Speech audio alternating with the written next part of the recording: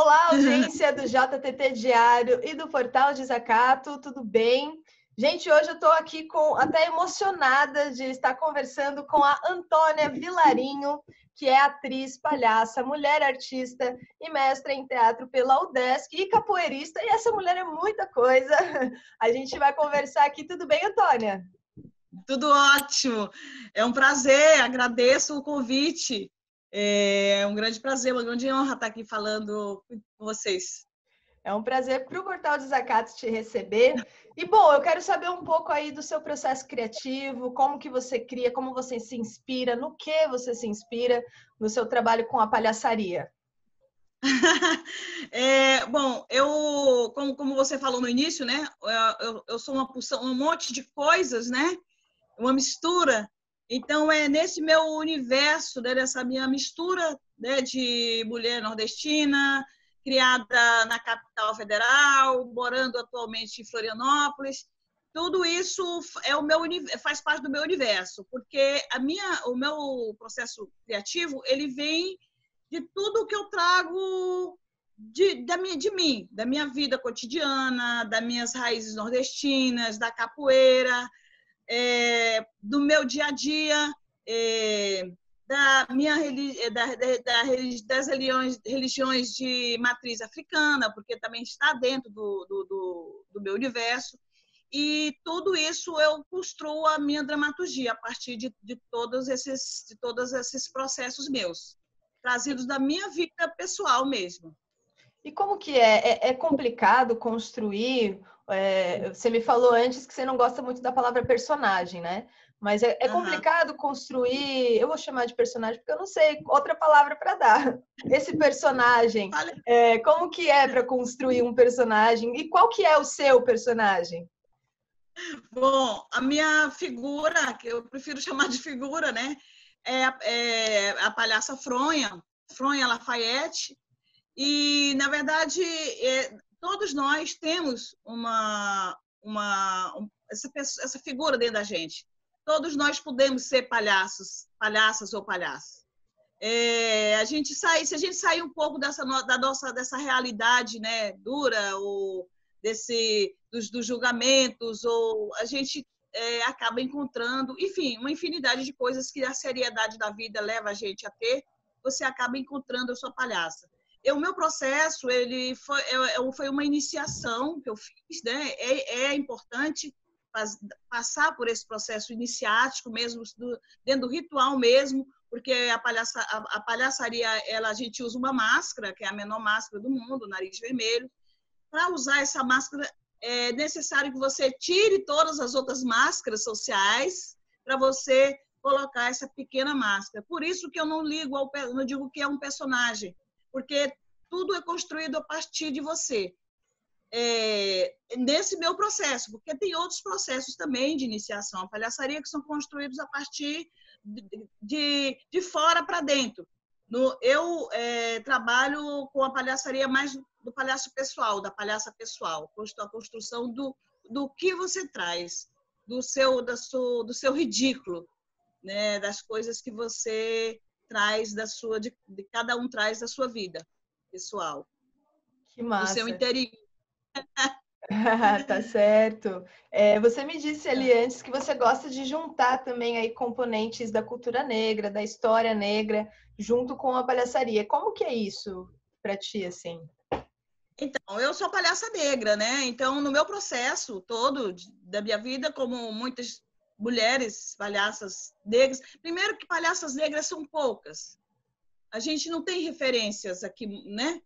De palhaças negras. E, e até para a gente, eu sou, acho que é, poucas das palhaças no país que dá é, iniciação. Assim, eu estou falando no país porque eu não conheço, né? Mas que dá iniciação à palhaçaria sendo uma palhaça negra, né?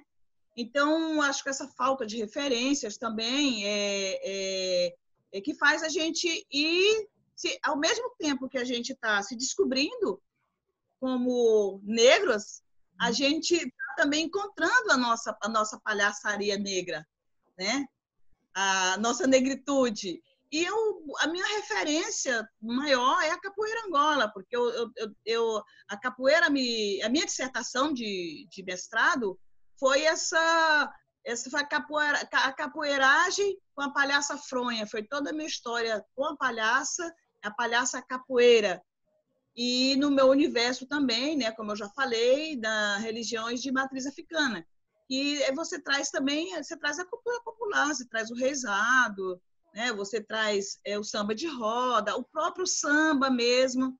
Então, eu, eu construo esse universo meu da, da palhaçaria de construção, tanto na minha, da minha da processo criativo, das iniciações, eu trago desse universo. Claro, eu tenho referências europeias, porque eu experimentei, eu morei em vários países.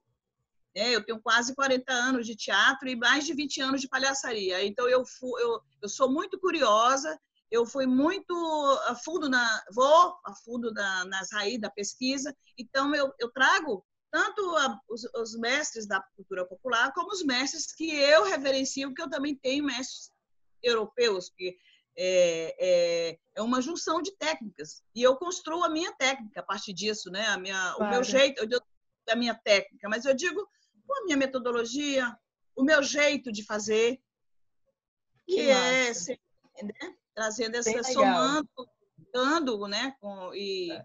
construindo o seu do seu jeito, né? Do seu jeito. Ô, Antônia, e, e você me falou que você faz oficinas também, né? Como que a gente divulga aí o seu trabalho? Para quem também então, são as oficinas? Eu ainda não fiz nenhuma live, nada, mas eu estou divulgando os processos de é, formação.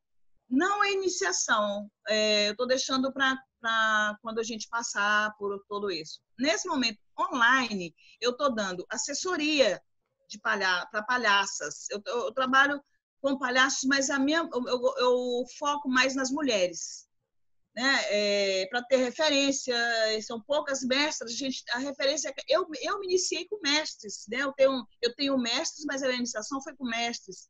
Então, dentro da história né, toda da, da palhaçaria, as mulheres, a história delas é recente também. E, e é recente também a história da, da palhaçaria né, com mulheres negras. Eu estou oferecendo um curso online de assessoria para palhaças, para quem já, é, já tem iniciação, não tem experiência, mas já se iniciou, já tem alguma coisa, já botou na, a, máscara, já experimentou a máscara de alguma maneira.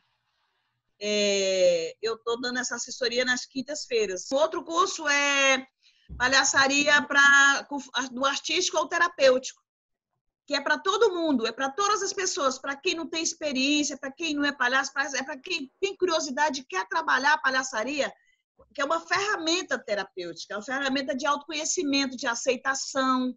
E para esse momento que nós estamos vivendo agora, de, de, de, né, de quarentena, de sem, sem toque, é, eu estou oferecendo esse, esse, esse curso.